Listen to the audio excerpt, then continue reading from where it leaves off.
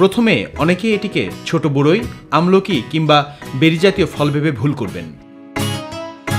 আসলে এটি আপেলের বিরল একটি জাত। এর আকৃতি এতই ছোট যে, আটতে পারে দেয়াশালে বক্সের মাঝেও। তবে একটি বা দুটি নয়, পুরো আঠারো থেকে বিশটি। অন্য আপেলের চেয়ে স্বাদ একটু টক হওয়া ছাড়া বাকি সব একই। তীব্র তুষারপাতে মাইনাস ষাট ডিগ্রি সেলসিয়াস তাপেও টিকতে পারে এই গাছ।